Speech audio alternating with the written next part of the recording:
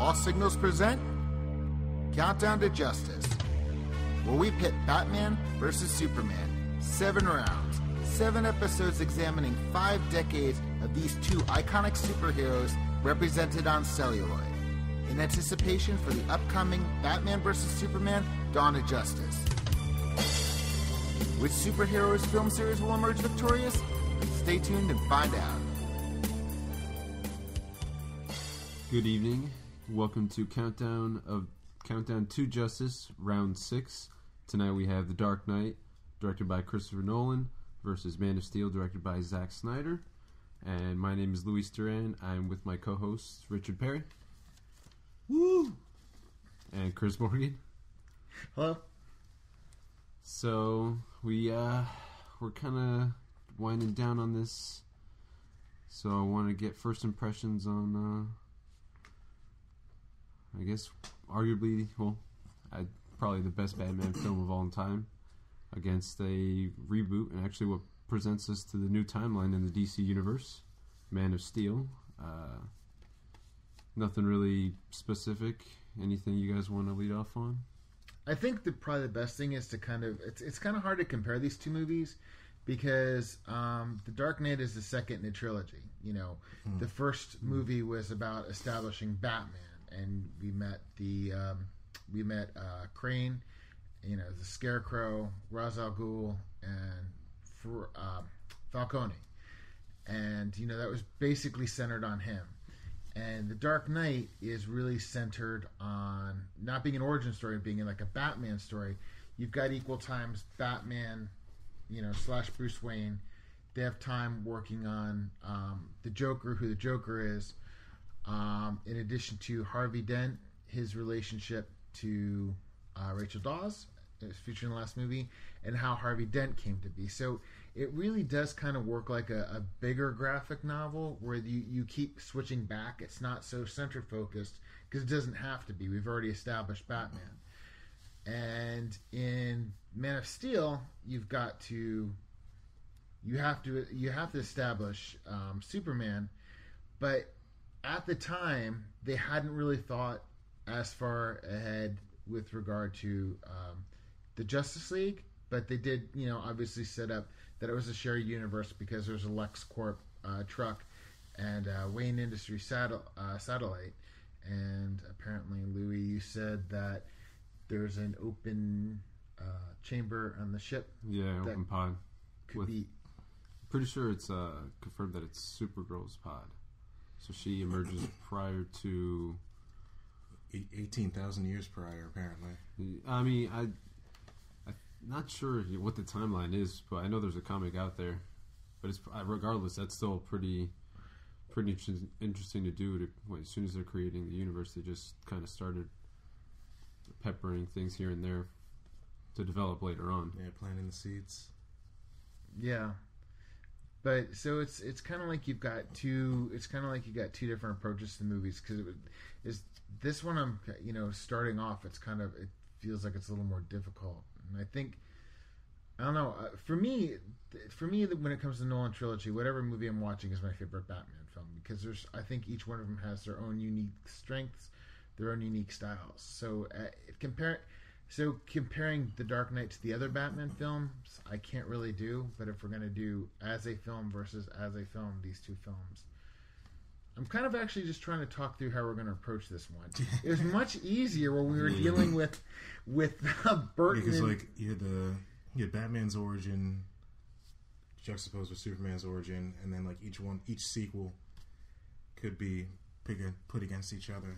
Yeah, we, we really did. Yeah, exactly. Origin movie versus origin movie, sequel versus sequel, each getting more ridiculous. In Batman's case, Batman becoming a better person and Superman becoming Yeah. a worse person. Kind of, I guess it did culminate with uh, Superman Returns. It's like an absentee father in that one. Yeah, yeah. This one definitely brought it back to uh, him being the, yeah, the golden boy. Doesn't do anything wrong. But doesn't well, except First. for being a peeping tom. Oh yeah, the, the last not, not Man of Steel. I said Man of Steel. Like Oh, it's bit Yeah. Man of Steel. yeah, so they kind of he made it clear he was like Yeah, Man of Steel. He's just got some. He's, he's got a few anger issues, Yeah, but who doesn't? I mean, at least he like put it put his anger on inanimate objects, like that guy's truck. Yeah, I mean, the problem is, I feel like, I feel like I I understand you you have to have Henry Cavill in for X amount of scenes, but and there are certain scenes where I feel, wish that they hadn't tried to young him, like they already had like a teenage uh, Clark, and for certain scenes I wish they'd used him instead of Henry Cavill. Because having a teenage tantrum in a car, you know, with your dad uh, when you look like you're in your 20s when you're saying you're not my real dad and we're my real dad just kind of loses its punch. It's like you've never had this argument before all this time you've you've known for 10 years you're an alien and you know He's been, God, he's been holding on to that one for a while. yeah seriously seriously it's- gonna get him. I don't know what kind, what argument is gonna pop in. Just gonna Um, throw that one in there, as always. I- I mean, it's it's one of, for me when I first saw Man of Steel, I was kind of shocked to hear after a lot of people were very disappointed in it, Yeah, and I was trying to figure surprised out why. Because for me, Man of Steel is honestly a Superman movie, hundred percent. They rarely call him Clark. You hear Cal as his one of his first names, and it was not until the end you actually see Clark Kent, like the one that's actually trying to blend in. The has the fake being a real person. Um, you know, first thirty three years of his life, we come to find out, Yeah. which is a lo- um, one of many references to Jesus which is film. uh I don't know if it's a callback to the Donner film or even later on in some of the later Superman films, or it just could be a reoccurring theme. It's kind of been in the kind of it's coming through in the comics as well. But this one is definitely a Superman movie, and it was everything that I expected, and I loved it. But identity was a huge thing, which I think that's why they put in so much with memories and him trying to find a place. Yeah, I actually appreciate that they kept Clark to the end because uh, I think there'd be way too many people trying to compare his uh, his portrayal to Christopher Reeves, and I think they kind of sidestepped that by keeping that in like the last what fifteen seconds of the movie. yeah Yeah. this movie I, I i've seen this movie three times i saw it in the theater um, opening day at nine in the morning. And uh well you know. Um and i s- and then i saw it on the following week with my buddy. And then i watched it again tonight and it's been about three years since i saw it i think. And each time i've actually liked the film less but it's not because how do i say this? They had all the right elements there. I mean, I really appreciated. I, I actually really wish they'd gone farther and spent like a half an hour on Krypton, because it felt like in the Donner film there was a lot to say, but they kind of just cut it down to the basics. There wasn't a lot of exposition, and um, you know, so you know, so you got a good set. You got enough of a sense through the dialogue in the 10 minute, fifteen minutes we were in Krypton as to what was going on this one was truer to what I understand the comics were, and like you know, in some of my research after it came out, finding out that Zod and Thea and Ursa, those were his two colleagues, that they were actually on Jor-El's side, that Jor-El and um, and um, Zod were friends, and they just had two different ways of going about when they found that Krypton was in was in was in jeopardy. Because correct me if I'm wrong because I only just started reading Superman a couple years ago. I never really. He was just too perfect of a character. I mean, you can only destroy him with like certain things. You know, he, you know, Yeah, and it wasn't until um, they started humanizing him. You know, as we said in the Donner film, where you find out that his that compassion is part of one of his no weaknesses, but it's he does have compassion and that and he is very trusting and those are things that can be used against him like gene hackman did how he tricked superman into walking into the kryptonite you know finding the kryptonite um and i i think they really needed to go a little farther on krypton that they really should have slowed it down a little bit and instead of like giving us even more information in like less time that they should have like said, okay, we, we want to build up these relationships. We want to, you know, kick off the movie instead of Clark's birth or Kal-El's birth. Kick it off with the, you know, kick it off with um,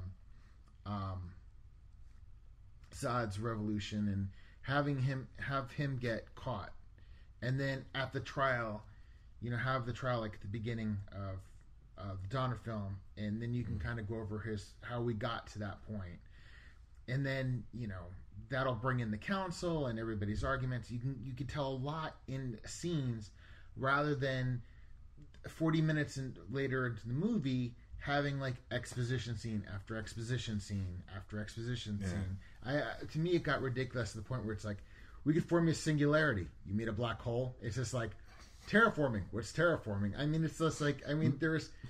It's to me, it could have been. You know, I think all, as I said, all the elements were there. I just don't think they were, in my opinion, put together correctly. Yeah, definitely. I mean, then again, my version of the movie would probably be a lot more boring because I, I know that Mark Millar wrote an, a treatment for a trilogy, and most of the first half was going to be on Krypton, and Superman wasn't going to show up until the end of the first movie. I Oh, mean, wow. Yeah, it was going to be Jeez, about that's ballsy. yeah, and but I'm kind of like in that thought, like if you spent a half hour on Krypton, and then like a half hour on his childhood, if you're gonna, because they had a lot of really great stuff in here. There's just certain things, like Kent's death, like Pa Kent's death. I hated that way they did it in this Yeah. movie. Mm, yeah. It It's was like- Just, I don't think he would have just stood there and watched that happen. Plus the fact that like that Jonathan felt it was necessary to go back to the car instead of Clark. It's like here, take this child that I'm already carrying, and go make sure your mother is over there underneath the over the underpass where she's at. well, it was also such bullshit because Martha hops out of the car, the dog's next to her, closes the door the behind her, and the dog's right there. I mean, like, Jesus Christ, just open the when you jump out of the car, take the dog with you. Yeah. She was terrible. She was a terrible owner. That's what did. That's what did Pa Kent in. It's what? She was a terrible dog owner.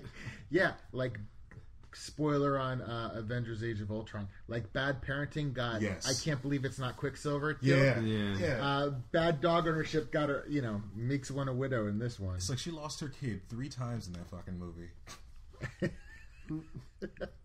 so they were setting it up. Just like, see, see, it's going to be the end of all of us. But the whole thing is, uh, the stuff that I really wanted to see more of was not like him with the whole bus bullshit. I, I love the scene where he, when all the senses start kicking, he's got the X-ray and Yeah, Yeah. and Ma Kent has to go and pull him out of the closet, and then later on, where um, you know Jonathan. I wish they'd found another way because I don't think you need this sensationalism because more and more people are going to be able to put this shit together. The So- one, the one thing I liked about the saving the kid was that that he saved the bully. I like the the one bully. What was his name? Pete Ross. Pete Ross. I like the fact that he would be one of the people who knew Superman's identity. So Yeah. If you had Mhm. something a little more subtle than the bus accident, where you had like 200 bystanders, maybe something with just Pete, like you know, Pete's chasing him down on the bikes, and you know Pete falls in the river, and Clark has to save him. Yeah. Something like that. Tone it down a little Or bit. even if they didn't want to keep it subtle, just like go the whole nine and like take it to the next level where he saves his father from the tornado, and then the town just kind of keeps a secret. yeah, yeah. yeah. Yeah, make it. Yeah, that'd be a totally great way to make it their own narrative and just be totally different because not many people do really know his identity in the comics or Mhm. anything. They've retconned that many times if they do, but it's it's it's funny. Chris mentioned it that they had so many opportunities to make such a make a better film. I mean, I know I said I'm kind of contradicting myself, but it, there are always opportunities to make a better one. Because compared to Dark Knight, even though when it set itself up for jokes and humor, it did it with style and flair. And when it did exposition, it kind of it, it allowed the the actors to kind of play around with it. I mean, the one mm. thing is with the sonar device. I noticed that outside when they Oh, yeah. they're in Tokyo, or oh, no, it's in China, Hong Kong. in Hong Kong Oh yeah, and he just says it like it's a, it's so using sonar. Oh, it's just like uh, like a submarine, Mister Wayne. Like, you know he's wants to say bad. He's like, "But like a submarine, Mister Wayne.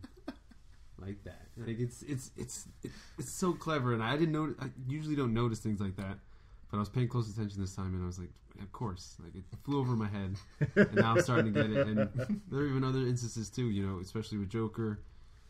That he, the actors had so much good material. It, I find it strange though. Did, didn't Goyer and Nolan also write Dark Knight? Yeah, but the, the thing is, um, I don't really know how much involvement Christopher Nolan had in I don't know, Man of Steel. because I know a lot of people are like saying, "Oh, we've got this bleak, joyless super age of superhero started by Nolan." And like, no. If you watch the Batman films, as you just point out, the jokes work. There is a lighthearted start. These people are human. There's dimensional. There's there there's you know there's sad times and there's the jokes work when it's ha- funny and then it can be serious and in this one you know was very very dry and i did notice this thing about david goyer looking back on his tenure um, he seems to be a multiplying factor because like if you put him because with the batman movies he and christopher nolan or he jonathan nolan and christopher nolan wrote the stories but it was Christopher and Jonathan that wrote the scripts for the for those movies. Goyer just helped with the story. In this one, I noticed was the opposite that Nolan threw in the um, um, Nolan got credit for story but didn't get credit for screenplay. And I heard that Goyer even had to sell both Zack Snyder and Christopher Nolan on uh, Superman killing Zod at the end. That was his idea. No. Yeah, that's. I was pleased with that. I mean, let's see. It's pretty much the only logical conclusion to their fight. Plus, as we saw in the Donner movie, he's done Yeah, it before. he's done it before. Yeah, It's- Yeah. it- In fact, I think it was even more fucked up because he depowered them and then threw them off a fucking Yeah, cliff. exactly. Didn't even offer it. Like he could have just sent him played to it. jail. He played with his uh, with being before killing it. I mean, my problem with isn't him killing Zod. It's the fact that uh, I, wrote, I noticed this during the movie that I, I think what happened is after they destroyed um, all the and, and kudos to this movie for like you know having product placement and then having your heroes and villains wipe out your product placement. Sears, IHOP, 7-Eleven, they all got destroyed. Uh, um, but I- I, I think it would have been more effective if um, at the end uh, they you know after they destroyed um, Smallville that you know Superman's just like well you know you really have to keep civilians away from this have the two world terraformers uh, not one of them not being Metropolis Yeah. and then after Superman sends everybody else in the Phantom Zone Zod says fuck you and goes on a rampage in Metropolis, and then the the scene where Superman like basically grabs him, tries to get him out of the city. Have that, and then if there's any damage on the way out or whatever, it's minimalized. You know, you haven't already destroyed the center of Metropolis. Yeah, we were, sa- we were saying there was no reason for him to ha- like put that world engine in Metropolis. Yeah, Like, had had he even been there before? Had Clark ever been to Metropolis before? no. Yeah. so there was had. like, yeah. So there was, I don't know, just plot, I guess. Yeah. yeah, exactly. Because of plot, it would have worked much better as if, um, you know, because Zod would have known, you know, that he had a thing for Lois and that Lois maybe was in Metropolis. So Zod could be like, "Hey, fuck you! I'm going to Metropolis, you Yeah. know, and destroy that, and I'm going to go get your girlfriend." Which, by the way, since we were writing the movie, I liked your idea about like Smallville keeping the secret and him actually saving Jonathan, because that would be a nice subversion of expectation. You think Jonathan's going to die there, Yeah. he doesn't, and then the town, you know, basically agrees to keep silent, and then later on, after he's returned home, you know, he's with Jonathan or something, and they've rec- you know reconciled or whatever, and then he uh, he has an aneurysm or Yeah. he dies Yes, yes, off screen, so, yeah. someplace where Clark can't help him, but had he been there, or Because that's what that's that's what a lot. I think that's a big part of what that heart attack meant because it was something that Clark could not save him from. yeah, It's like this one, he just like he said, I allowed my father to die Yeah. because I trusted him with the decision to keep my secret. yeah, and and I, I like it's much better. I noticed in the Donner film, subtlety works so much better because all you know all those powers I have and I couldn't save him says so much more mm-hmm. than you know all these other stuff, all this other stuff. He's like, I've been afraid of the government all my life. That's why I didn't save my father. My father was an anti. His dad is more like an anti-government militia guy. Yeah. So Jonathan Kent was an interesting character in this movie. Like just if you if you just take his lines the wrong way, especially the one about whether or not he should have saved the kids, Oh Yeah, yeah, seriously. It's, And It doesn't give an answer, but he was just probably thinking, yeah. he's like, I don't know, maybe. Yes. I want to protect you, b- Save and I'm willing to let like half of your class die to save you to protect you. I'll sacrifice anyone to keep you out of their hands. We can't have the government getting a hold of your powers. Do you know what they'll do? No, it's like they'll they'll overlook all the childhood deaths. That's fine. that won't raise any questions at all. Clark was the only one who survived. I wonder how that happened. It just keeps happening that way. all these accidents, all these fights where the bullies just come home and stretchers. Dislocated jaws. God, there'd be like his class reunion would just be a whole bunch of empty seats, memorials, and like cripples. Exactly. Exactly. Yeah, so it's. I, I thought all the elements were there. I agree with you. I like the fact that Clark Kent did show up to the end. I also like the fact, and I- as I said, I like the fact that people would know Clark's identity. I like the fact that Lois, you know, to take Always a different knew. route, Yeah, she always fit- knew. found out real quick. Yeah, I love I love that so much about her her character this time around. How she took the initiative and like made her way all the way back to Smallville Yeah, just in time to see him at his father's grave. but I mean, but then there's stupid things like she runs out of the cop car, and he's in Yeah. the Superman going Clark, Clark. He's like in Yeah. full. Yeah, It, and Clark later says, "I'm from Kansas." I'm like, no, everybody can put that together. So I mean, if it's a, Kansas, huh?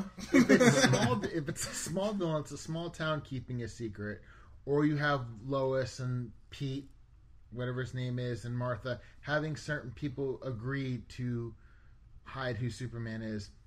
That works for me. I noticed they didn't really. I like use- that. They didn't really use uh, Lana too much this time around. Mm, Yeah. Lana was just Yeah, she was just kind of mentioned her offhand, and I'm, I'm assuming the girl that was yeah, watching him that whole time was her. girl in bus. Yeah, girl in bus. pretty much. I love the grittiness, though. I, I gotta say, Man of Steel. It's so many people, like so such violence and everything. Like you actually see casualties, and I just they Yeah, don't it's- they don't hide it. They don't Yeah. try to make it Instead of, innocent or anything. instead of glossing over it. yeah, See, but that's that's the problem though. Is I don't. I mean, all this destruction, everything that's happened, and you know, and I'm going to agree on some of the critics on this film. I don't mean professional critics. I mean criticisms. Is that after all these people, all these, you know, all these people being lost, you know, that all of a sudden four people are. eh, Of course, to Superman, every life is supposed to be secret, but to the audience, you know, after all this destruction, and you know because I'm gonna be I've never liked the third act of this movie at all, and it's just too much action. I mean, and I'm one of these people who loved Mad Max Fury Road because to me that was an action film where the actions told a story, Yeah. And it was all practical and it was like a ballet. And this was just like a lot of CGI and a lot of green screen and a lot of stuff being knocked out. So by the time we It's got like to Michael Bay wet dream. yeah, so by the it would have been much more powerful if there was less damage, and him going to Metropolis was more personal. Then, when you have four people that Zod's about to kill just to say "fuck you," because I can't get to Lois, I can't get her. Well, you know, get destroy the city before you know I you know Zod knowing that maybe he's about to die, but he's going to take four of these people with him. That, that would be, even be more of a reason for that fight to happen in Smallville too. yeah, yeah. This is like, oh, I'll while destroy you're your home. yeah, while you're staying here, saving her, I'll go destroy your home and your mother. Yeah. There's a couple different ways they could have approached that. So I agree. I, I'm okay, but I just don't think the killing all the people that died was. I didn't really see the It remorse. was, en- it was enough seeing the world engines do it, but then Yeah. for them to continue on the half of the city that wasn't destroyed, yeah. Here's- yeah. it's like when he's like, because for the first half of that fight between him and Zod, it was just him kind of reacting to the shots yeah. and just trying to take him out. And then when he starts using the buildings to and you air quotes hurt him, like when he's dragging his face along the side of the building, just Yeah. cutting it in half. I'm like, Clark, really? Really? Yeah, exactly. Oh, dude, you got to be smarter than this. Oh man. I am going to say this, and the, uh, one of the things, uh, the thing I loved about seeing it tonight was for a couple different reasons. I actually got to look back after reflecting on this movie for a couple years and really just appreciate everything that did they did right, and really, for the first time, firm an opinion on this movie. And secondly, um, the fir- about a minute into the movie, the first time we saw it, Beth and I looked at each other and we're like, "We're buying the soundtrack." I mean, Hans Zimmer's soundtrack is amazing, and knowing it now and actually listening to it, the the soundtrack in context of the movie tells such a story in and of itself. Mm-hmm. Like I, that to me, the way the the music was used in this movie was, for any other fault it may have, was beautiful. I mean, and that's not just to Hans Zimmer. It was, you know, to Zack Snyder and to the editor and so forth. You know, I mean, Hans Zimmer, yeah, definitely, but the music was done with worked really, really well in the context of this movie. Yeah, I always trust his his ear and ability to create a great sound. I mean, the Dark Knight out uh, soundtrack also is is amazing. Just paying attention to all the, the different nuances with the how the music changes with who, what characters being shown, the the placing of when it's you know action sequences and everything, the climax sequences and it, it, it was just The drums are always what gets me on those or Yeah. the Dark Knight trilogy soundtracks. yeah Well, you know the the Joker theme that that happens at the beginning. Uh, Christopher Nolan, when he's flying, you know, from wherever to Hong Kong to shoot the Hong Kong scenes, um, basically, Hans Zimmer gave him like sent him a, a file with like you know 200 different things for the Joker. So basically, Nolan was saying like on the way on the way to Hong Kong, he's listening to like 400 ver, you know, a couple hundred or whatever different versions of like. "Ee." I could. I'm surprised he just. Just punches out the next person he sees as soon as he steps off the plane. Nolan, Welcome to Hong Kong. Ugh. Nolan goes in the bathroom, comes out, has cuts of his. Uh, Want to know how I got these scars? Hans Zimmer's fault. No, Hans Zimmer's great. He, he he really is. yeah, and I have to. Before we even think about moving on to the Dark Knight, I have to bring up how Faora is like my favorite character in this movie. yeah she's really She just really wrecks everyone. she was great. Especially that small relationship she she builds with the uh, the one uh, is it general I guess. Or- Yeah, It- it's just or Colonel, I think. yeah yeah I think it's the colonel. Is that the German mad scientist from um, from Krypton? Who? Who is the who is the one the one that was performing the experiments on him? With the the one Kryptonian with the German accent. Yeah. I don't Yes. remember. I don't remember his medical- name. Yes, even on Krypton. They have accents in Krypton on Krypton. Of course, it's a German scientist. I wonder, I wonder why they like it. Why why the need to do that? Why? Why? Or maybe unless maybe it's just the actor and he just has the accent and now we're just adding value to it. Poor what- guy, we're just picking on his accent. Well, they were going that route with the stereotypes. Should have took it a step further. Just had like like a ten foot dude just be like a like a basketball player or something. I don't know. All Just right, have him have him look like Suge Knight. that was good. I was wondering where you're going with that one. Yeah. Although one thing I did notice, they both these movies they continue the pattern of killing. That's for sure. Yeah. Because they say Batman unintentionally. Oh, it's always unintentional. In the pretty much in the Nolan, like he doesn't save him, but he doesn't. He, he kind of causes her death with Harvey Dent. I guess he pushed him off that ledge, and he ended up dying. I couldn't grab his hand. Well, that that yeah, the deaths in the Dark Knight we're gonna ha- and and and Bruce and the Joker's plan. I I I- I've actually been I actually gave that a lot of thought.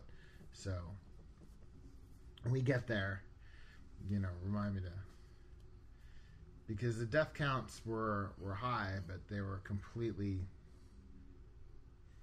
I, all I'm gonna say is I, I feel like in the Dark Knight the the the deaths had more point Mm. as opposed to Oh yeah, absolutely. What the Burton films? as opposed, as opposed to what? The Burton films?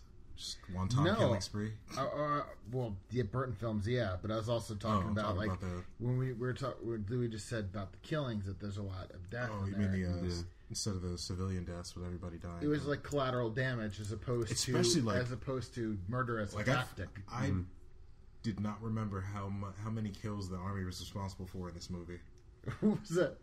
Oh, when they're launching the ships, or the not ships, the missiles Not even and like everything. before that. just- Even in Smallville, when they're like coming at them with the uh, oh yeah, the lethal fire, like they ju- like Superman just got the people into the buildings. It's like be like stay safe, stay inside, and then all the buildings get blown up. Is it? Yeah, and what was it? Thea, Fiora, Faora, yeah. She deflects that one missile and like you know blows up this you know destroy everything, but you know made a crater, son. Made a crater. destroyed the uh, the planes, and they end up crashing into the into the town as well. Just- everything just rains fire on that town, and poor town. and the and the engine, the train engine that was put through Sears. Yeah, Oh, I mean, so, yeah. somebody's got to put two and two together at this point. Seriously, It's like Metropolis, Smallville. Like, only two, Who's- ci- only two cities that got destroyed cities. in that whole thing. Who do we know and the that Indian used to live in Kansas?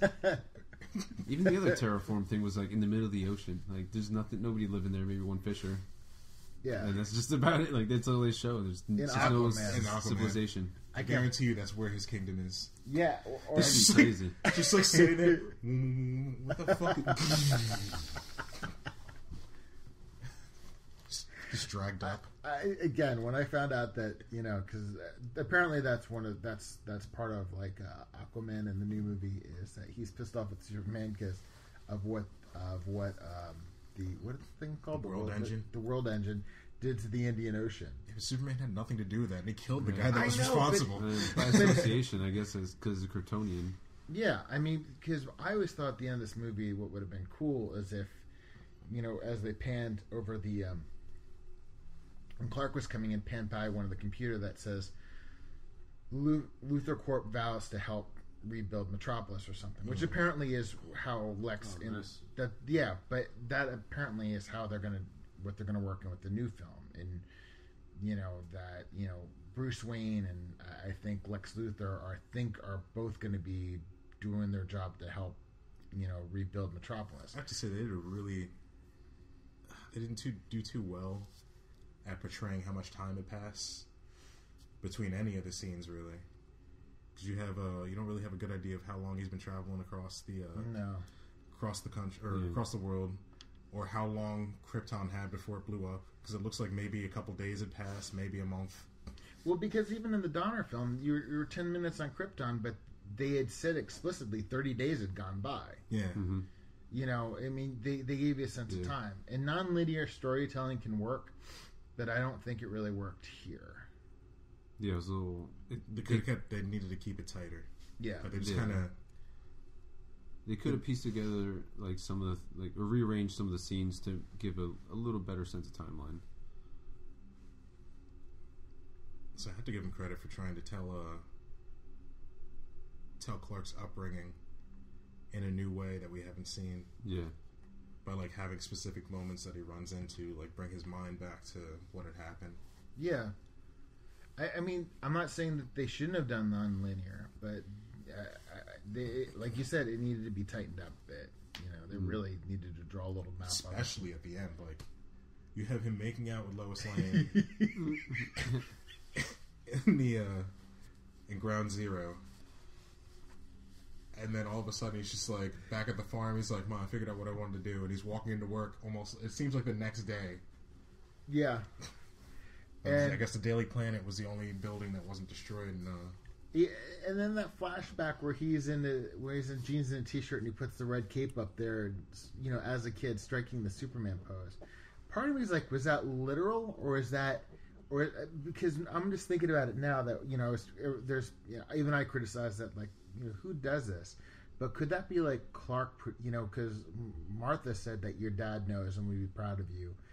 could that be him projecting that? You know, Oh, Could that be not have ever really happened, but in Clark's mind, that was his projection of his dad. You know, finally seeing him come into his own when he really couldn't as an adult, but maybe see it as a child.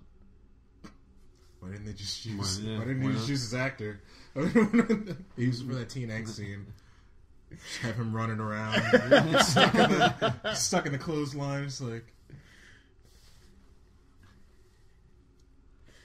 it could have been like five minutes before they took that fateful ride. Yeah, he's fixing up the car and everything. Come on, Clark, let's take it for a spin. I saw you messing around with that cape out there. Don't you get any ideas? You know my real dad.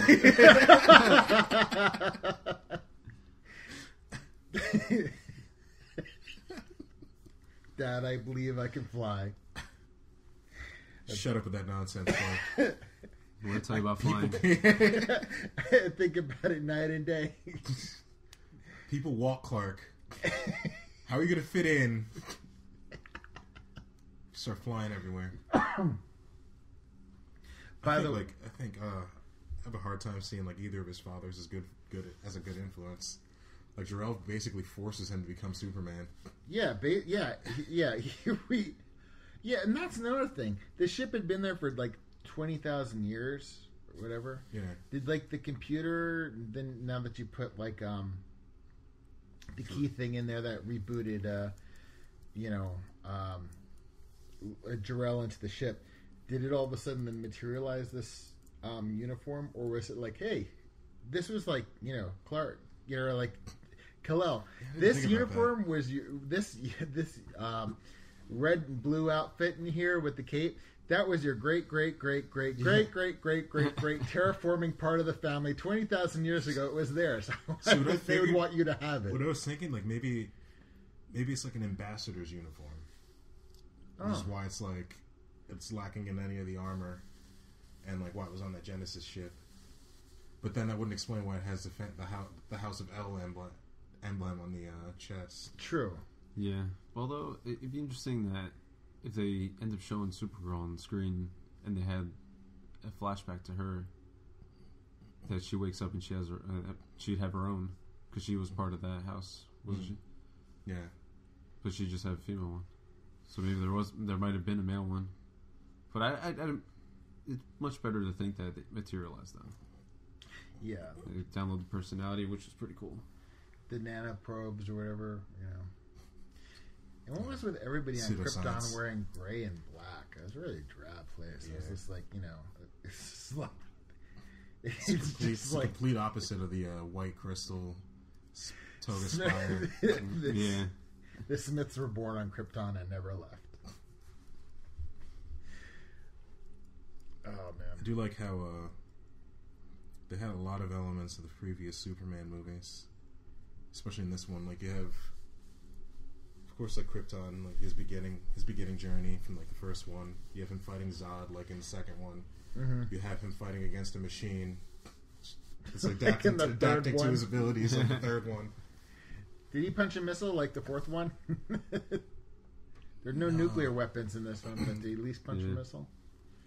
No, Punch the world engine. engine. Yeah. Well, then we can say a third slash fourth one with that. No fight on the moon though. Oh, oh my were pretty god. sweet. I was thinking about that. Didn't like- carry the didn't carry the American flag. no.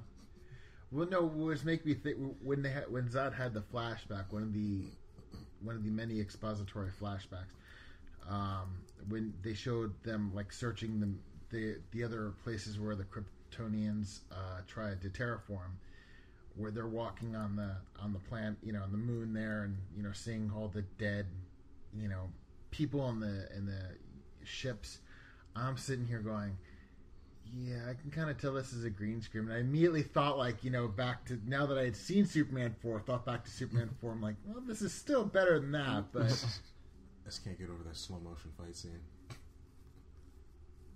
No, just them on, just them being on the moon and like Oh, it's slow Superman motion, four. That's just that was it's Just, ridiculous like, and hilarious. stalking up to him, throwing slow mo punches. yeah, but I am going to say at least that was like you know, a lot less, a lot shorter. Because the ending of this, mo- the third act of this movie is exhausting. Fight scenes were amazing though. Which one? Oh, this one. Yeah, once they No, started with the of action, Steel, I, I yeah. like that. They didn't really, didn't really stop. So you that never was just really- me, I guess. Never actually get to see Superman actually throw down and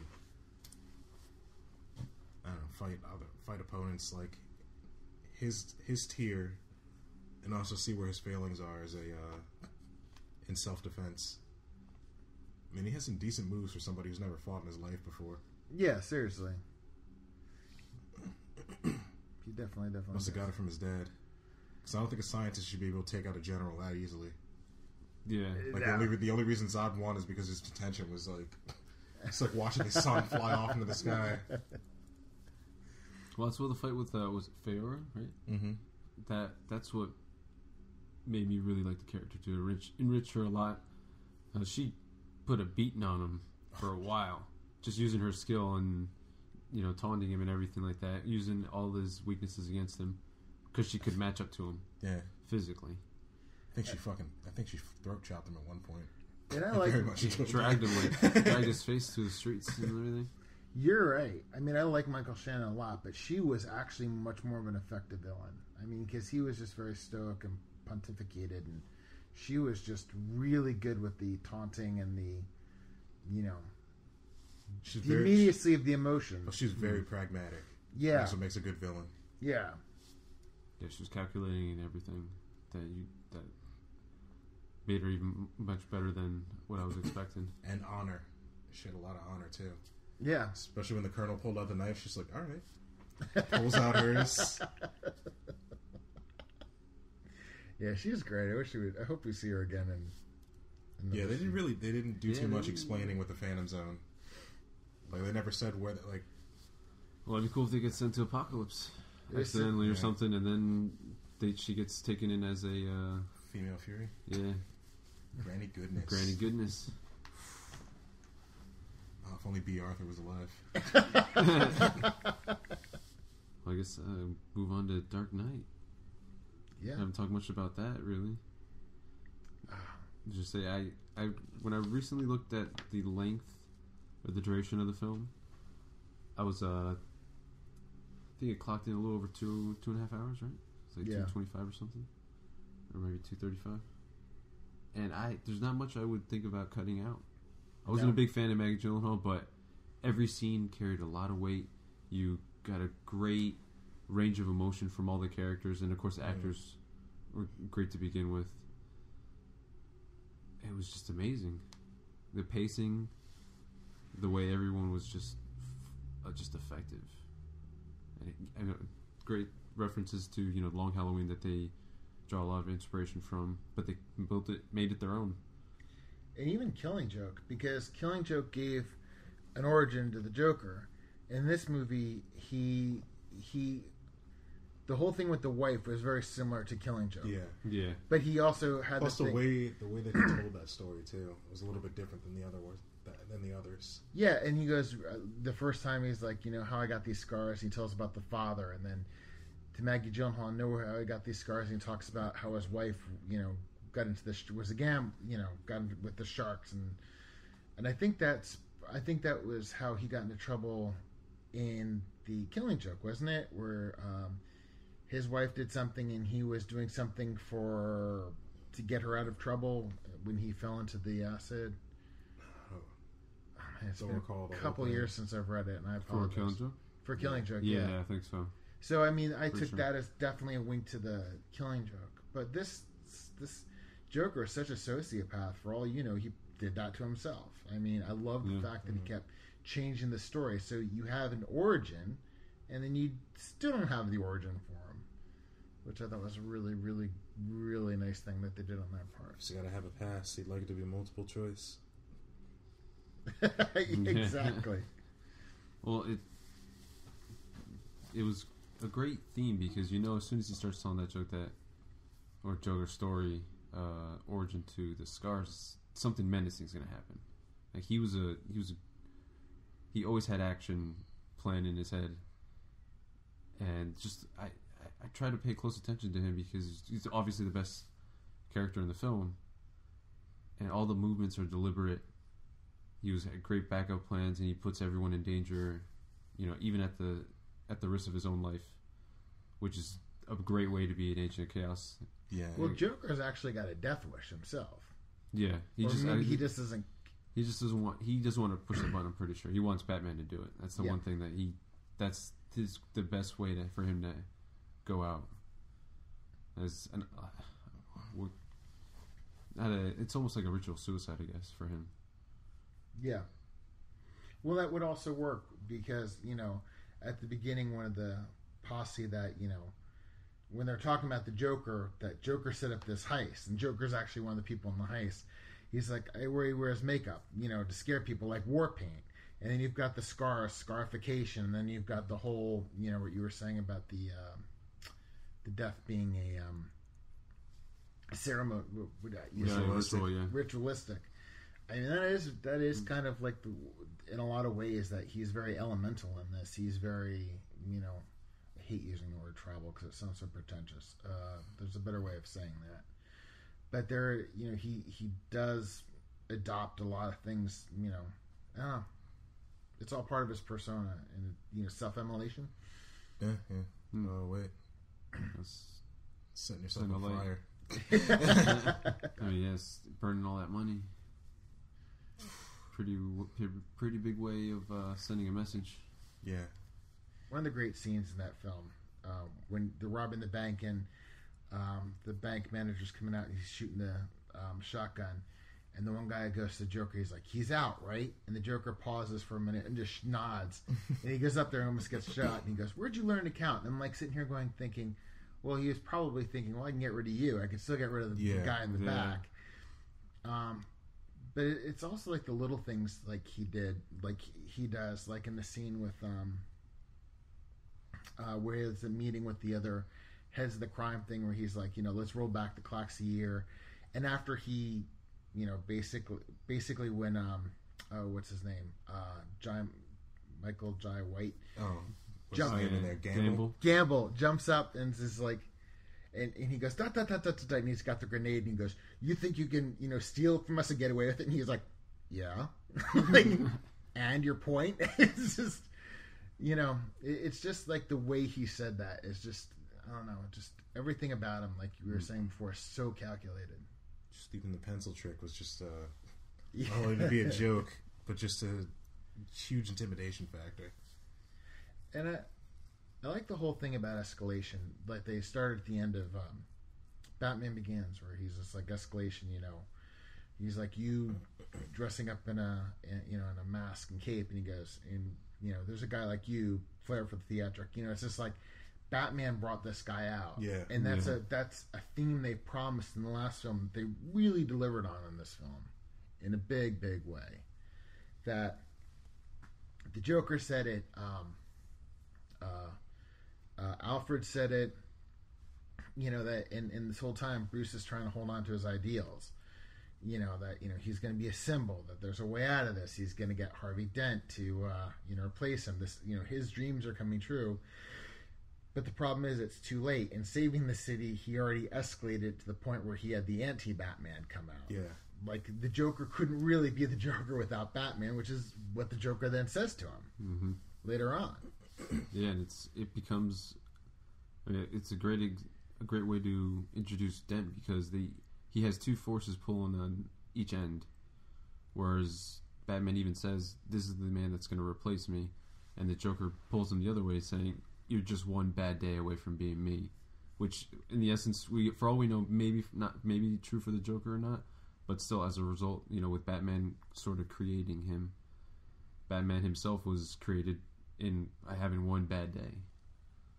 So, Yeah, that's true. and at, at this point, I would say you can put them on each on one side of the coin, and Harvey Dent is the main focus of the story as to which which side he's going to land on. I mean, that is true. I mean, that actually is the plot, probably the plot of the movie. this is that fire motive with the It's like with the Joker too, Mm. because the Joker's responsible for burning half of his body. Yeah, Yeah, yeah. And the the one thing I really found um, interesting about this is that the Joker won. Hmm. Any Yeah. way, shape, and form this movie ended, the Joker won because all he wanted, he two things he wanted. He wanted to, you know, Gotham Soul. Let's just say he's like, you know, that er, that Harvey Dent was his ace in the hole in in the fight for Gotham Soul. You know, and Mhm. and that Harvey Dent was, you know, the focal point, but also part of it was the Joker wanting Batman to become him. And he was killed after this catch 22. If after Harvey Dent died, if Batman told the truth, making himself look good, then the people the Joker would win because he turned Harvey Dent into himself. Yeah. But by taking the fall for it, even though Batman didn't commit the murders, everybody thinks he committed the murder and killed Harvey Dent, Yeah. and therefore he became the Joker. So the Joker won regardless of what happened. Mm-hmm. I mean, he Batman was put in a no-win situation. He really mm-hmm. was. And then it ended up being all for naught from the next movie. And, and yeah, that's something I kind of want to. I'm, I'm going to probably wait till we get to the Dark Knight Rises to get to because I, I, I main criticisms in the Dark Knight Rises are, oh my God, he gave up being Batman just because of Rachel.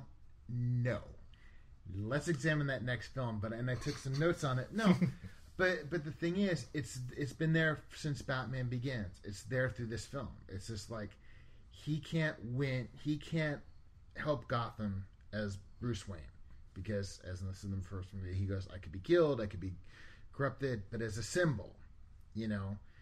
And he wanted to be this symbol, and he gave birth to vigilantes who dressed up like him, who didn't really understand the fact that he was a symbol. You know, they they figured, okay, you know, I'm going to be, you know, a copycat vigilante, you Yeah. know, and ultimately, you know, in order to save Gotham, he had to tarnish that symbol.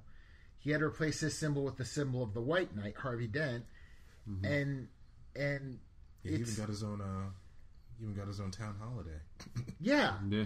and if we're gonna skip ahead to the next movie with you know just briefly about the whole thing with the fusion reactor bruce wayne finally finds a way to do something to to um, help the world as bruce wayne and some scientist comes in and says oh by the way i figured out how you can turn your unlimited power supports into a weapon so i mean this is like the history of bruce wayne is just like you know and i am jumping ahead because i had to finish that thought but Yeah. The the whole thing about Bruce Wayne and, and Batman is that you know Batman is a symbol. He is a true believer in that, and that's why you know I think uh, um, Rachel Dawes says you know I can't, you know I don't think there'll be a time when you don't need Batman because in a way he does kind of hide behind him. That's where he gets his power. Yeah.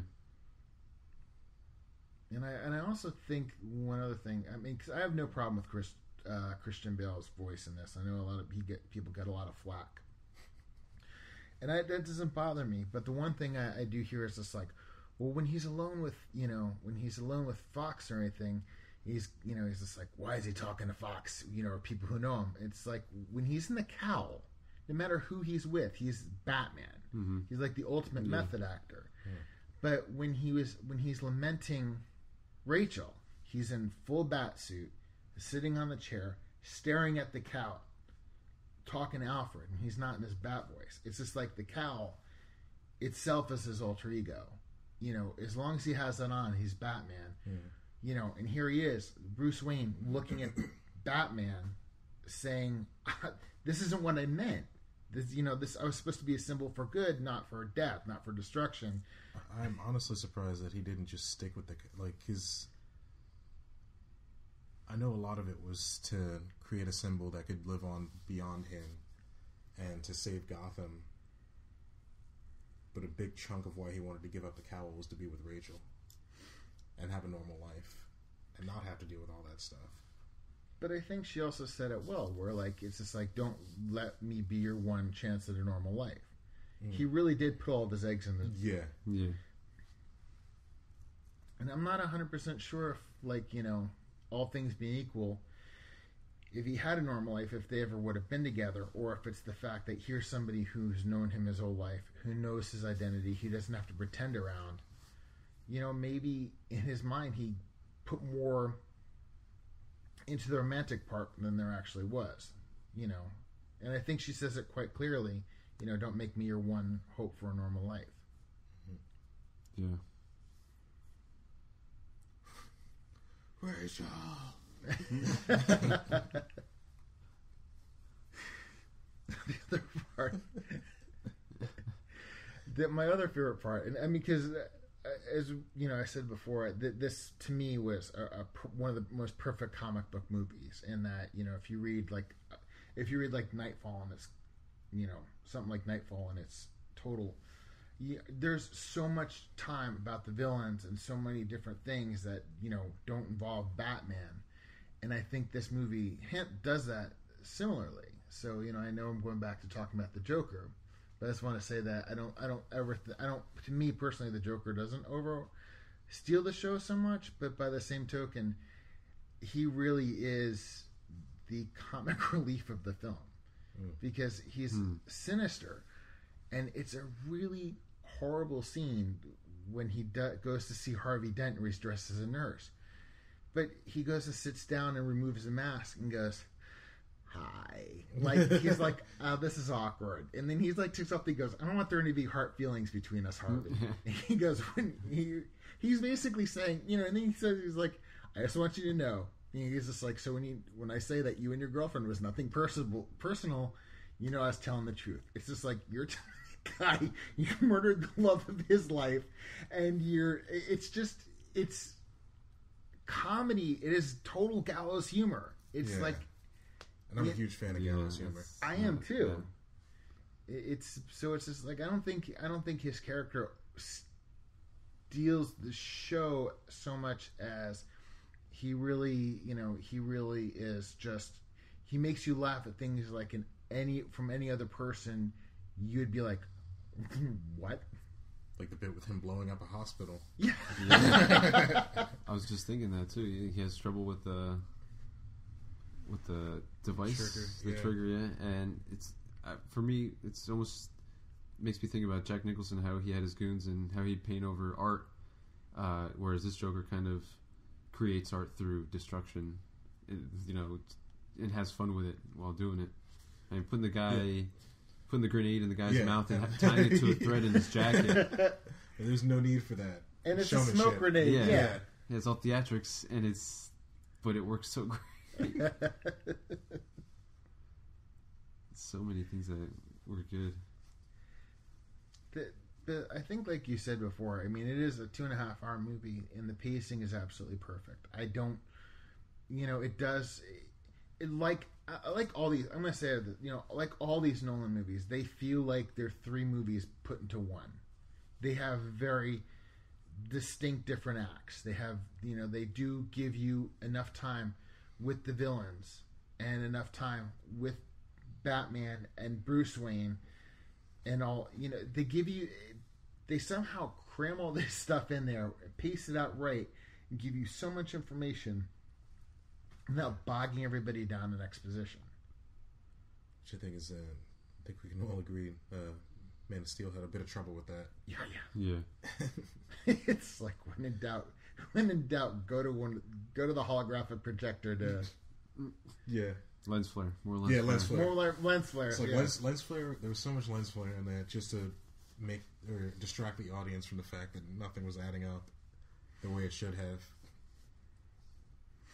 Yeah, back to the pacing of the Dark Knight. It's it was very refreshing to see how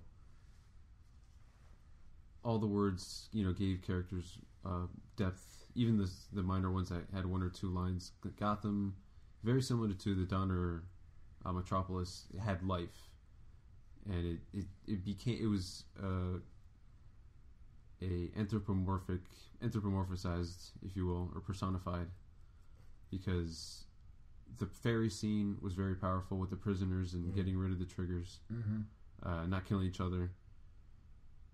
Who knew Debo had a heart? Yeah, and it, it shows it. It told a really good story because that's what the story hinged on, at least for for Joker and for Batman, to see the good in people and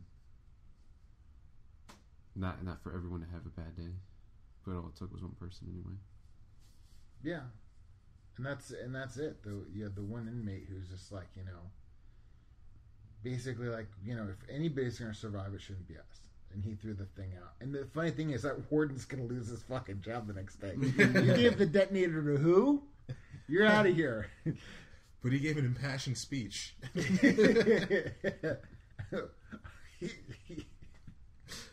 if your five year old came up to you and gave you an impassioned speech and had but then you got the the people this innocent sweet and innocent civilians and you know when it came down to it the guy They're, none of they're convicts. yeah. The killer the quote unquote killers couldn't kill in that magnitude and the people who thought they could kill because of it the ones who were passing judgment couldn't do it. So like you know and because that's kind of the tragedy of the movie is that batman slash bruce wayne is right he was a symbol that things are better but the tragedy is it's going to cost that symbol that brought everything together you know his symbol that's the that's going to be the cost of um, you know uh, Gotham's safety. It's not the hero they want. The hero they need. Oh my god, that is like the best. That's one of my favorite lines in the movie. It's like, you know, why is he running, Dad? Because we have to chase him. I'm like, I, this, I mean, that says so much. It's just, that's just great. Yeah, top to bottom, that movie, the the Dark Knight is just poetry in motion. I mean, even the action scenes. We were talking about action scenes. The Dark mm-hmm. Knight action scenes. No action scenes la- last more than it should. I mean, to me, there's nothing more boring than car chases. So unless you're somebody like, you know, Nolan or George Miller or something like that, you know, to pull off a good car chase to make it interesting and not overdo it, it's really, really difficult. Plus, to have him use so many of his gadgets, but have them be for a purpose within the story. Yeah. Yeah. Oh, the slaughter is the best medicine.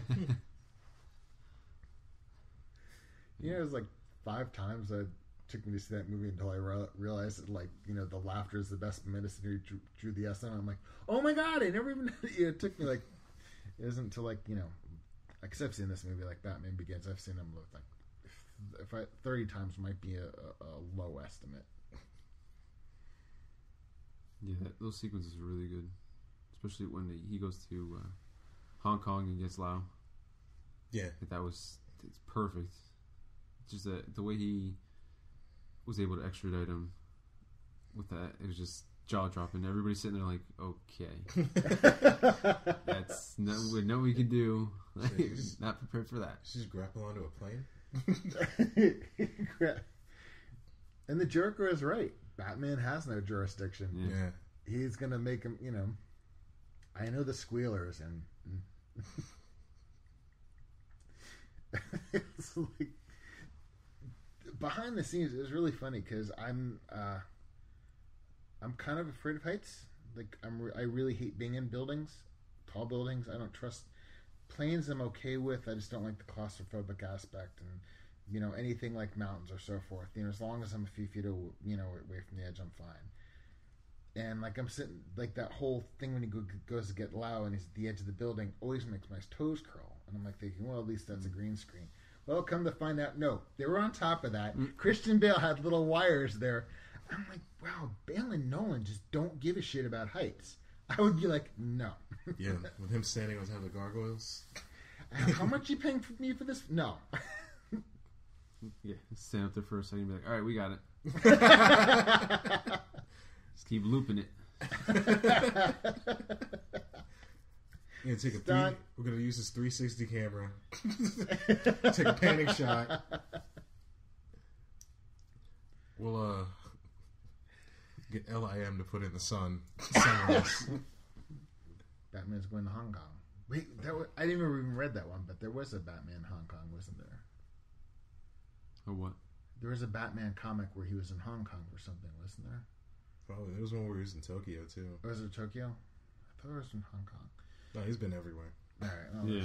Yeah. He has no jurisdiction. Who says a case can't also be a vacation? oh my god. First Bruce Wayne, then Batman at my spot? yeah, that's, what are the chances? Lucky day. Yeah, and I like how he's just like, hey, he scones with the entire Russian ballet, but all of a sudden Bruce Wayne disappears from this boat. You know, I guess none of the Russians never said, hey, Bruce Wayne disappeared from boat. We weren't too far from Hong Kong. That's where Batman went. It's like he came back with he came back with a squirming bag. he had to keep kicking it to stop it.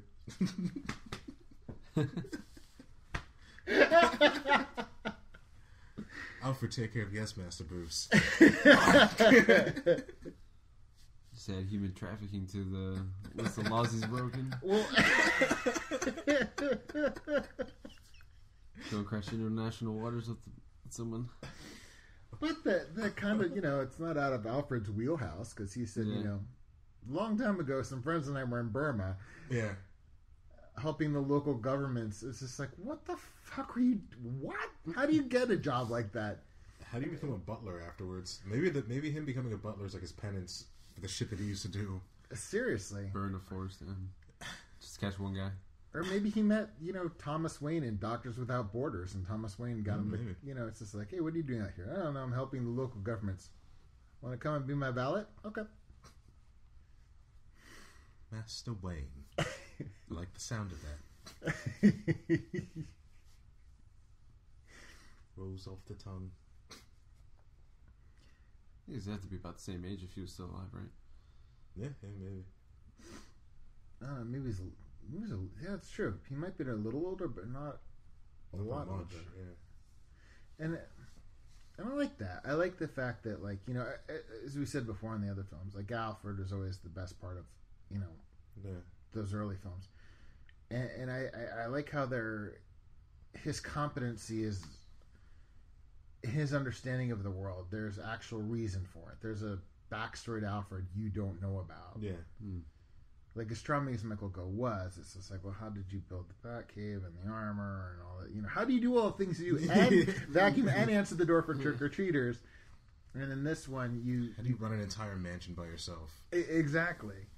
And and you know, in this one, you know, in this one, it's just like you know, Alfred's got this sordid past.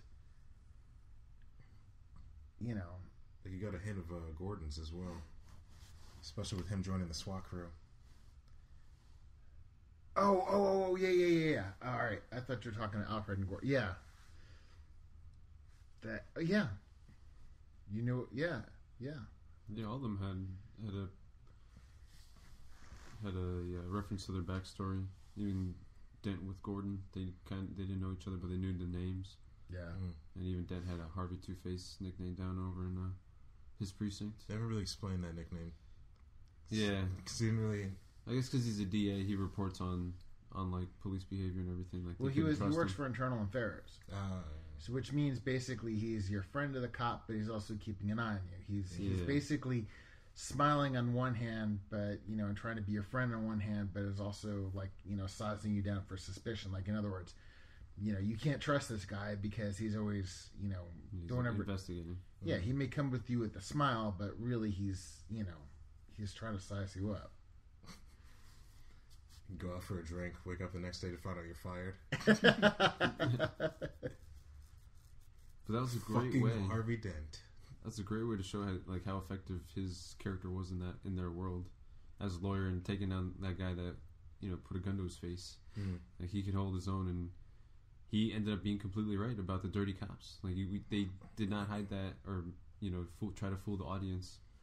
It was just like it was Gordon c- continuously saying that they were not dirty, and that's what did him in. Like, hey Gordon, guess who's the one that took Rachel?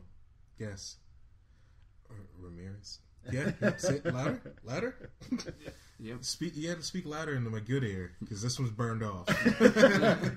But I mean, but that's the interesting thing about this is because you know, and Gordon says if I um wasn't if I didn't have any cops, you know, that weren't investigated at some point, I'd be working alone. So he's right. He couldn't be an idealist. He's got to be a pragmatist. But also, by the same token, Harvey Dent's right because if he's investigating in this cops, there's a good portion of you know Gordon's crew that's going to be shifty, as we've seen yeah. you know, is capable of that. And that's what makes it interesting is it, as with Batman and, and the Joker, everybody's right and everybody's wrong. hmm Yeah, there. I love the amount of gray areas in this movie. Yeah. Like it shows that the world isn't black and white, No. and he just like Bruce. Just everyone kind of steps away from this. Just not being able to, not really knowing like where to stand anymore. And I gotta remember to say this when we get to the next film, but I mean this that experience at the end broke so many people. It broke Gordon, it broke uh, Bruce, and by extension, it broke Alfred. hmm You know, it, it's just th- this whole- Almost, it almost broke Lucius. yeah. Yeah. Because like if he, because if he'd kept the uh, sonar thing going, like Lucius would have just like Oh, given up on yeah. everything. Oh my god, that was that was awesome. Where he's just like you Just know, type in your name when you leave. and that whole ending montage where he's just like you know, people deserve to have their faith rewarded, and that's where Fox types in this thing and things explode.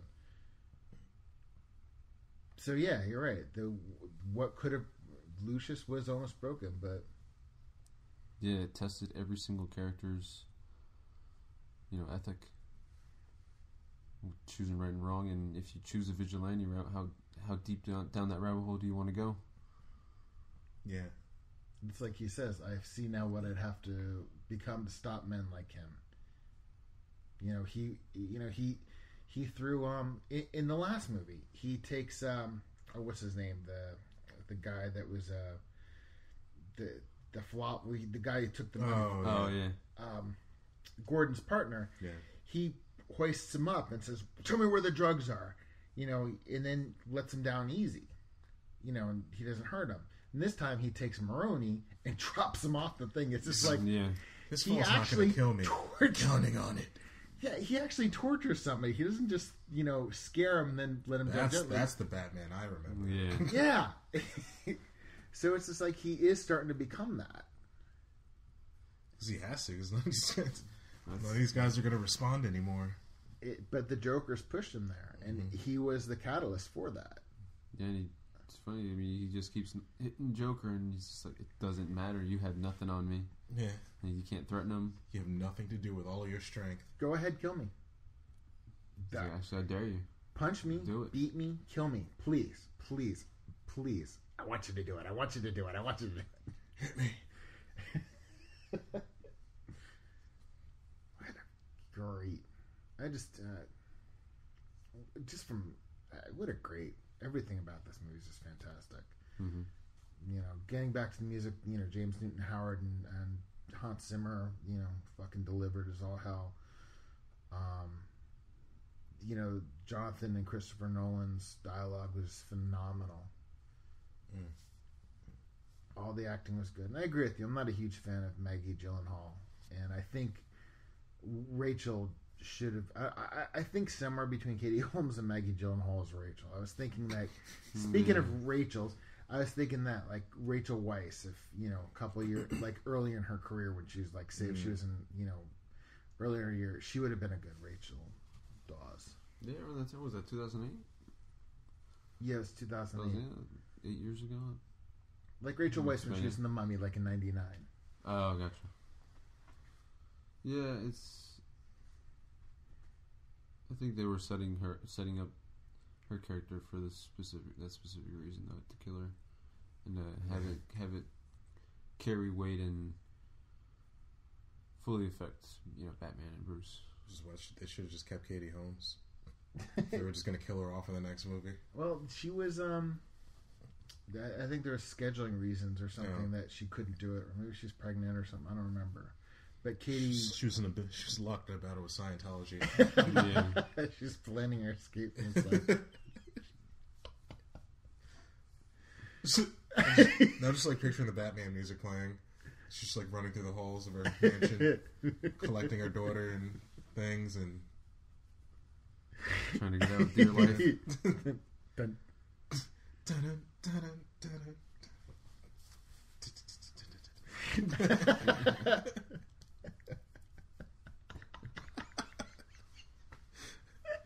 The, the bat pod car- crashes through the. Do you, listen, uh, there's a here's a side. Fucking Tom Cruise, all done up in Joker makeup. Where are you going, Katie?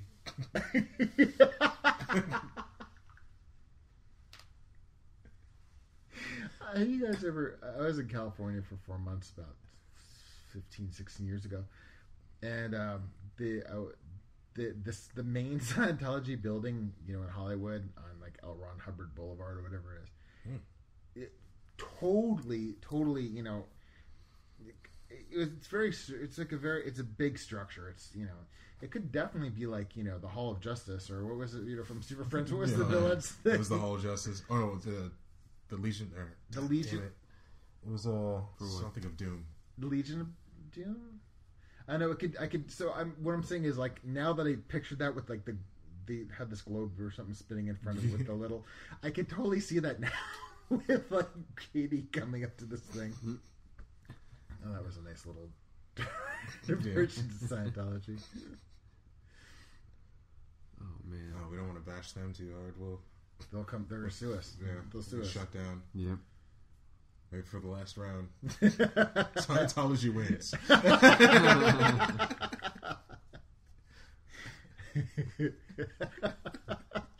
I joined this new cult. It's, it's the bee's knees. You all have to join. You all have to join. So we've renamed this the countdown to. the countdown to uh, lawsuit. Yeah. But yeah, uh, I. Mean, Rachel Dawes was kind is kind of like a, a you know it's kind of like a fall. You know, you I agree with you. I think they set her up. They don't know if exactly how they're going to do it, but they're like, you know, they're going to need a disposable character who's kind of like Yeah. you know. She kind of gets sanctimonious, which kind of you know. Yeah. Mhm. She It- it's- talked way too much shit about uh. I don't know, just every, it seemed like every other conversation she had with Bruce was just her taking him down a peg, Yeah, despite all of he, all, despite all he sacrificed to help make the city better. and she's always like providing mixed messages with him. Mm. Yeah, she was very cavalier about a lot of things too. When she didn't bat an eye when Harvey had a gun pointing at him and as they're walking out. She's she kind of glosses over it, doesn't really pay much attention. She's and at one point she's like, you know, I'm I'm I'm fine. Okay, you know, by the way, if you were worried about me, like I'm I'm okay emotionally. I didn't just have a gun pointed at me at my chest. You're Gotham's Someone trying to kill DA. If you're not, if people aren't trying to kill you, you're not doing your job right. Yeah. and also just kind of thinking, no, I know I'm going to get saved, but I just want you to know, Harvey, like I love you, and you know, but sorry that you're not going to get saved. I'm going to. Yeah, yeah, she, told, yeah, Just so she, you know, she just so you totally, know. She totally thought that she was going to be the one that gets saved for Bruce, and then he was going to blow up. And it wasn't until he she heard him over the phone, over the uh, intercom saying, "No, no, you should have went for her." Where she's just like, "Oh shit." But Not dude, trying to get at or anything. Not trying to do anything. that's awesome because I hadn't thought about that. Like, yes, they really, you know, she really did believe, which kind of more explains to her the whole resignation. Like, I'm gonna die. Okay, it's okay. It's just like, you know, credit to Maggie Gyllenhaal. She pulled that off. Like, you know, she went right from, you know, I do want to spend, you know, my life with you. You know, thinking that she is going to be saved, and then you hear, no, why are you coming for me? And she's like, okay, okay. It's just like the flip. a I switch. wonder if she survived. Would she have taken that letter back from uh, Alfred? it's like, hey, can I? Yeah, thanks. Yeah, don't need it much anymore. You son of a bitch. You weren't gonna come after me? Is that what you're If only you had thought to save Harvey first.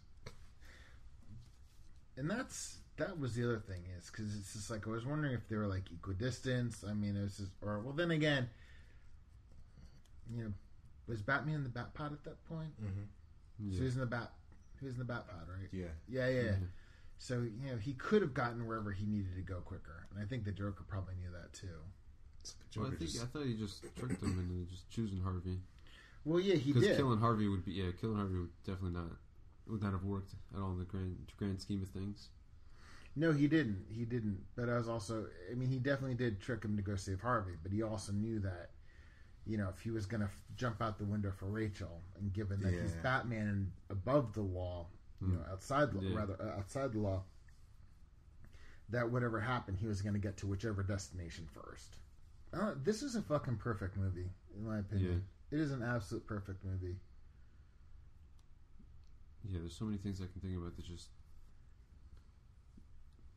keeps reinforcing the argument that it's a quality movie, film, just all around, because it does so many good things that every every movie should do. You know, telling stories or building an air like a world around it without dialogue, which is action, and just showing what's what's occurring around in the world Mm. without you have throwing it in your face.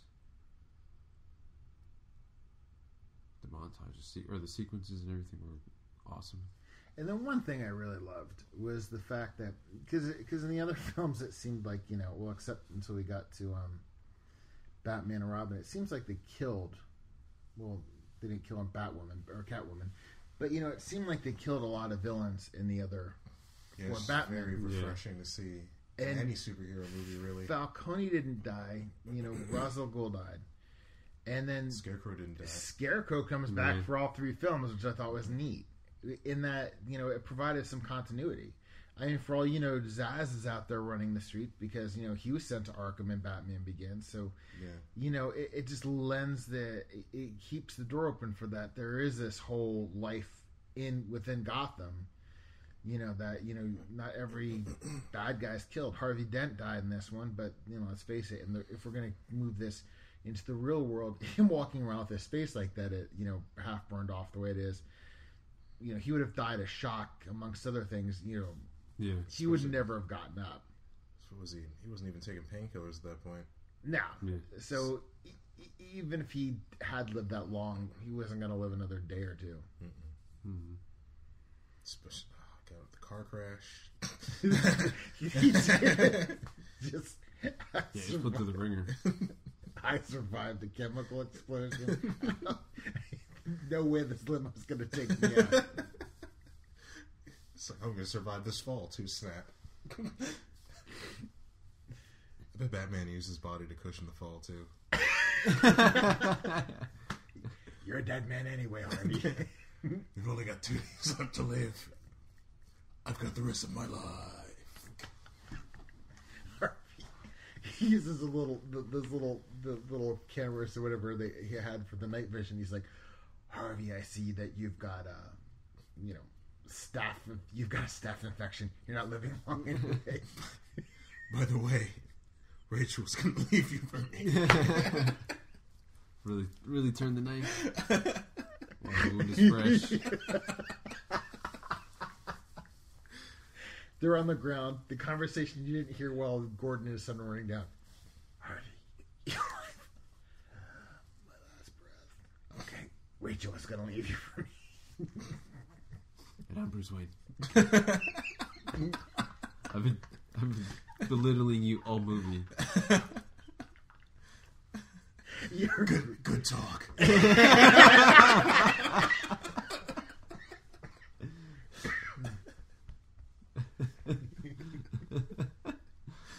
oh man, there must have been a real gut to get that letter. Uh, for uh, for telling about that letter. All that shit he talked to Harvey on the way down.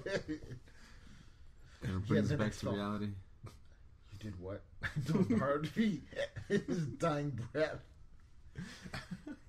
I don't care what Rachel said. Good talk.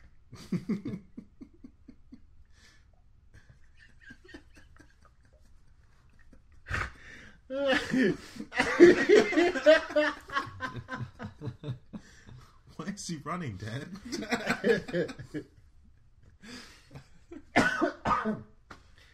hey Harvey, you're masking my Eskimo brother. the bond that must never be broken. What? The bond that must never be broken. So, anybody come to a decision? About what? Well, is anybody, anything else you guys want to add? For decision for this? Uh, we might. I mean, I could talk about. We'd be at this all night, Uh, I, yeah. was gonna say, I could talk about this movie for another four or five hours, but you know, I mean, because there's just actually in this movie there is so much you can talk about this movie in Yeah. in every angle, and I think we've tried to attract attack it from every angle. But you know, each one of these subjects we've glossed over essentially. could be a whole podcast in and of itself. To me, honest with you. Tune, tune in for the next rounds of Countdown to Justice. The Dark Knight. and you know how we rewrite bad movies? We'll rewrite this one as a comedy. Yeah, and We'll give episode the- ten of We'll give the this Dark one Knight. the we'll give this one the Schumacher treatment. Harvey, I needed a partner. Need a partner. I didn't need just a friend. I needed a partner. You've got one. Gordon's just like, and I'm here too. What are we doing here again? Who's in charge? Harvey. This is a senile Gordon.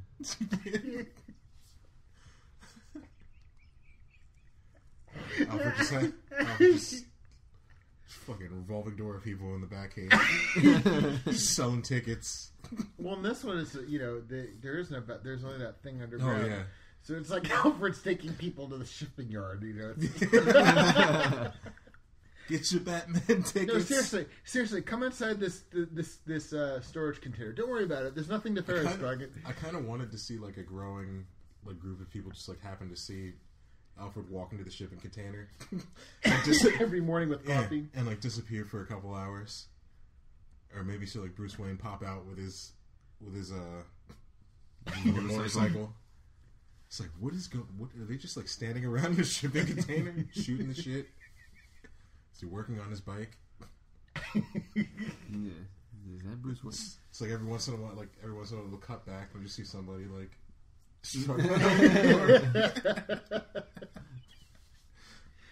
I swear, I saw a motorcycle come out of here. I saw a Lamborghini coming out of here. so Batman, leave this shipping Batman leave this goddamn container. this old this old British Yeah, butler so- walked yeah, in. so I think I think I think Batman's an old, old British man. I only see Alfred go in and then Batman come out.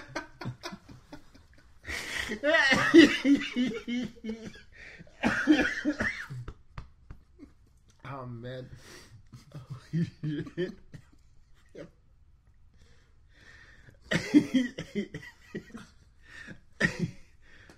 See, we get definitely this has got comedy potential. Potential. I'm just like you know, I'm still stuck in that whole Harvey, Harvey.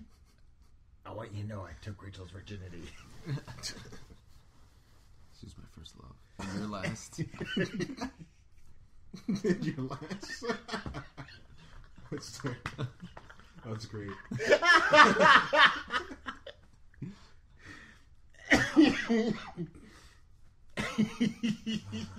Bruce Wayne's dick.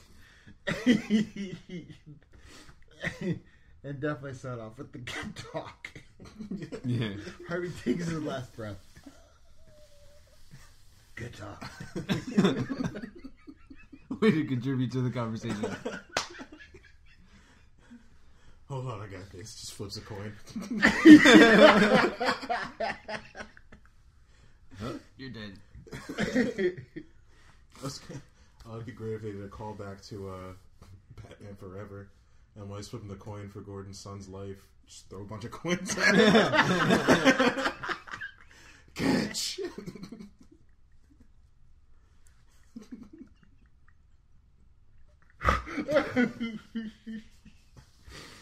oh shit. Ah, it's beautiful. Oh, we have to really work on that mashup.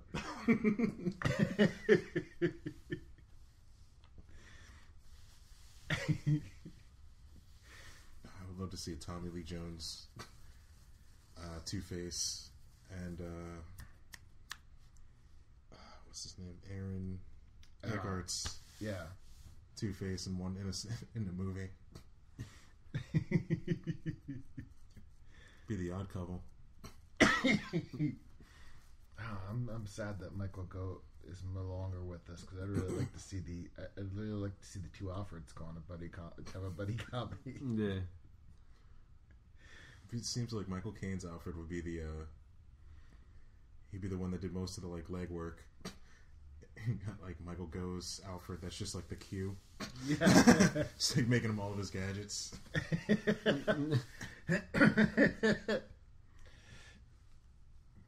Alfred, Oh, you must do more with this cave. you must know this kid. I wouldn't eat that fruit if I were you, Alfred. You might get sick in your mm, bed.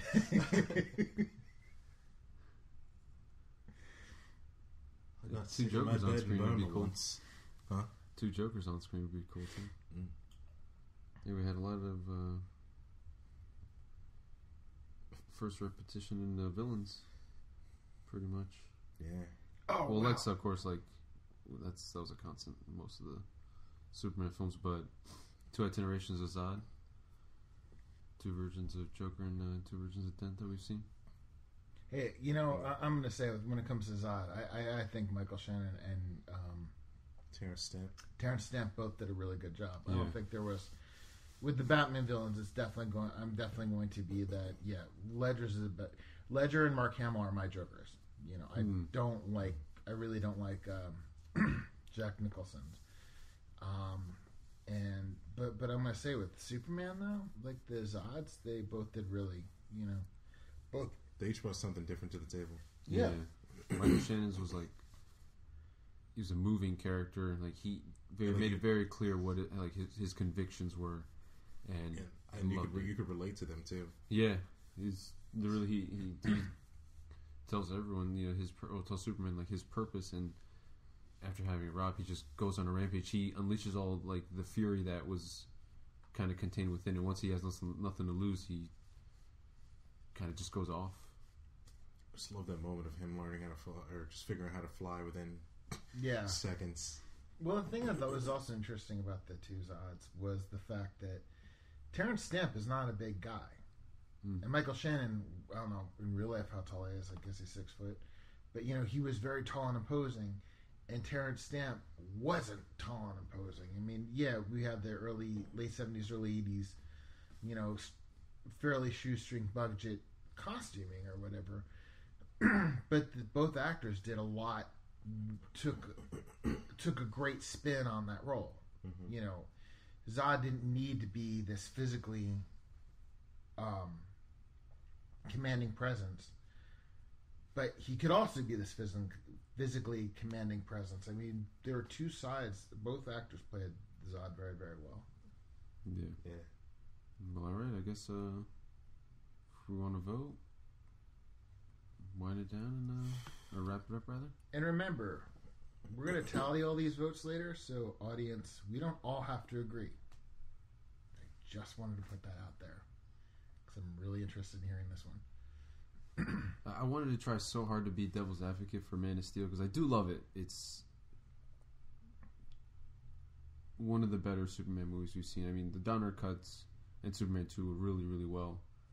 Um, even though the second one kind of started veering off because there was a change in the the direction of the film. Uh, this one though, I, I really did enjoy Zack Snyder, and I wanted to make a good case. But Dark Knight, after rewatching it and I haven't seen it maybe a couple years though now. I I can't not vote for Dark Knight. It just fired all cylinders and Man of Steel tried to keep up, but it was always just falling short to everything. True. Like I, like I think I, yeah, I just I wanted to watch Man of Steel again to see if there was anything I could get out, or anything more I could get out of it. See if it could pull ahead, but just, it's like with the pacing issues, the lack of char- like lack of strong character development for anybody but Clark and Jor-El and Zod, basically. Yeah, once again, Lara gets screwed over. That was a lot girl, of Joe. girl and bus. but yeah, I'm gonna have to get this one to the Dark Knight. Sup- Man of Steel is a real divisive movie. Uh, people either really like it or love it as you guys, or people really hate the movie. And um, I don't hate the movie. I don't think it's a horrible movie. It's got its flaws. Um, and there's definitely things we do different. And the third act really needed some trimming, but I don't hate Dark Knight. Or sorry, I don't hate Man of Steel. It's not. I'm not gonna say it's, sit here and be it's a bad movie. With that said, as if I haven't made clear, I've The Dark Knight is one of my absolute favorite movies, so it's getting my vote. I just want to make that clear because I know there's, I know it kind of came in here expecting actually to like Man of Steel less than I did, and I actually ended up seeing more good in it than I had thought. Uh, so Superman started off right out the gate with a couple wins. And now Batman just like it's a little engine that could. Yeah, Yeah. well, it's you know, it's not totally Superman's fault. I mean, really, Yeah. Bryan Singer really fucked that one over. Yeah. Chris Nolan knew exactly what to do, and he did it right. Put it out there, and we're just along for the ride. You know? And one thing he did do is he treated every movie like there wasn't going to be a sequel. Like he Mm, was Mm, yeah. teased the next movie, but he wanted to make a complete movie so that if there wasn't one, you'd have a complete movie. True, you didn't even need one after Begins. No, It was just enough to have the Joker card flipped Yeah. over. just to show there's a continuation. That's what I, I mean. That's what I found a little pretty good with Man of Steel. They didn't have to leave on a cliffhanger. This started the the new timeline. It uh, or I guess started a continuous timeline. Uh, just the way that Iron Man started, I guess Marvel. Uh, for it to be continuous, and it doesn't hint or try to leave in a cliffhanger at all. Just that you know this is the world that they build around it. Yeah. Clark Kent's at the Daily Planet now, and that's it. The next films will take place in that universe, and that's I, I kind of like that. I mean, we're we're s- I think we're a little spoiled with what Marvel does, you know, giving little end of credit scenes and everything like that. It was interesting that a comic movie didn't do that for once in a while. Yeah. and I hope uh, and I hope they don't. I hope that they don't. I hope DC stays away from that.